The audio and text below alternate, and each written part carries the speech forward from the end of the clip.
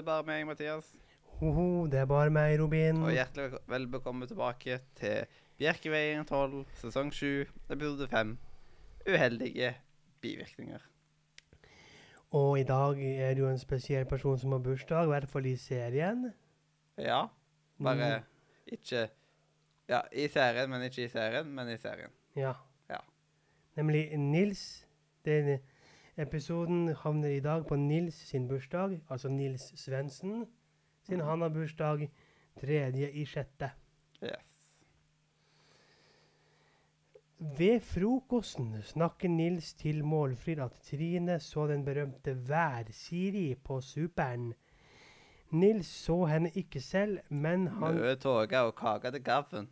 men han jobba på lageret for å returnere supper. Ni av ti ble dårlig av denne suppen her, og Nils mener at Målfrid burde ha en sterkere reaksjon på at Siri var på butikken. Henry kommer inn like hes som sist. Han har vært hos legen, og legen skjønner ikke hvorfor Henry er sånn. Han fikk bare resept på noen piller. Eh, Carl kommer inn og tar blodtrykksmedisinen sin, og han stjeler halve avisen til Henry. Han fryder seg over at Nils er så begeistret over Siri. Senere leser Carl avisen. Henry kommer ned etter å ha hvilt middag. Han mangler en tøffel, og han går opp igjen for å hente den for den glemte han å ta på seg. Carl leser om bivirkninger for medisiner som nordmenn tar, annet eh, som Henry eh, tar. Jep. Og her og i denne episoden her så er Karl en sånn derre Nei, jeg vet alt fordi jeg sitter og leser bivirkninger, så jeg vet mm. absolutt alt. Og nei, hør på Målfrid. Yes. Hun vet litt mer. Og hør litt på Henry, for han tror at det bare er innbilning. For Carl leser i avisen om bivirkninger og hoser seg opp.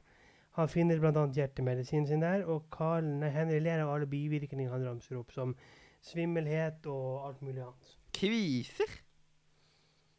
Viser. Ja. Hva er det for en bivirkning? Senere på kvelden eh, står Carl opp. Han får ikke sove. Han må lese på bivirkningene igjen. Han får stadig flere bekreftet. Nils kommer stormende inn. Han vil se på TV. Og Carl skjønner ikke hvorfor Nils skal se på TV nå, men det er været. Og forteller at Siri var innom i dag òg. Hun ville vite prisen på bananer. Han er så sprengkåt på henne. Ja. Neste dag kommer Carl ned, svimmel og sliten. Målfrid venter på han ved kjøkkenet. Carl gir seg ikke med bivirkningene han ramser opp. Han har fått de på hjernen. Målfrid blir oppgitt av Carl, og Henry kommer inn og mener at Carl er dratt i trynet. Dratt? Henry vil lese om bivirkningene for Henry spiller, og Carl informerer at han skal til legen, og Henry kaller han for hypokonder. Hypokondri er også en sykdom. Trine kommer og er sint på Nils. Hun er sjalu for måten han flørter med Siri på. Og på rommet dunker Nils løs på en ball. Ikke sånn, men han har basketball, han bare.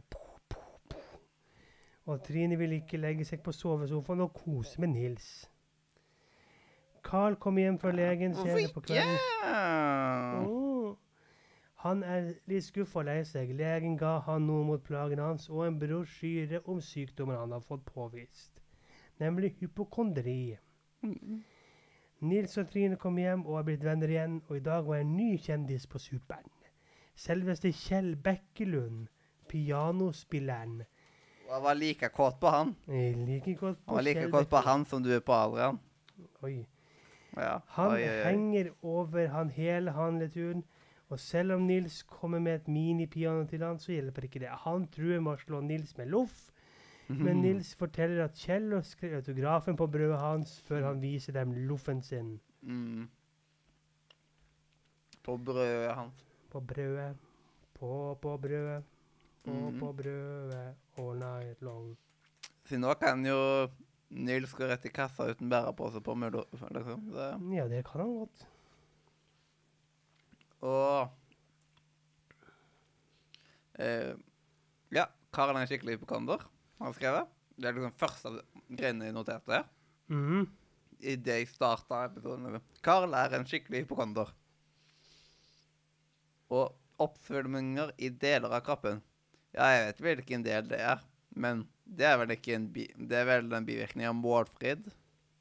Ja. Og kviser, hva er det for en bivirkning? Hei, Carl. Der kom den bivirkningen også. Ja. Og eh, kjenner du det òg? Hva da?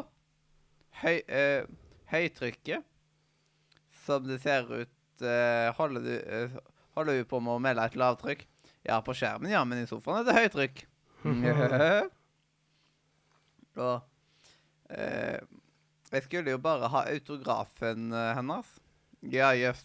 Det var ikke akkurat kulepenn som var det, første, eh, det mest fremtredende hos deg. Og jeg ble Vi er vel skikkelig gode kompiser med. Kompiser, du, liksom? Jo, eh, ja, det ble vi. Han skrev jo til og med autografen på brødet mitt. ja. Og da har jeg gitt Seman til Henry. Henry, ja. Henry, ja! Ja, ja jeg har gitt til Målfrid. Til målfrid. Og så er det skål, da. Mhm. Og her la jeg meg på en femmer. Du og de femåringene dine. Sorry. Ja, det er liksom Du er jo mer glad i femmere enn um, Ja. Ja. 50-åringer som eh, leker deilig utenfor barnehagen. Det er jo litt en sammenligning, men uh, Ja, eh, jeg beklager, men uh, det, det ble bare fem på meg. Ja, da kan vi si da at det det- sesong sju ikke vinner Nei, men det er rett og slett bare på måten Carl er på i denne episoden. Carl er en irriterende dritt. Ja. Men hva, hva har du lagt det på, da? En åtter, så da møtes vi vel på en sjuer. Da møtes vi på en syv. Mm. Fytti grisen. Og hva, bare for at du sa at den ikke vinner, eh, hva er scoren på nå? 9,2. 9,2? Mm. Ja, det er fremdeles mulighet for å vinne. Du vet, vi har fremdeles eh, 20 episoder igjen.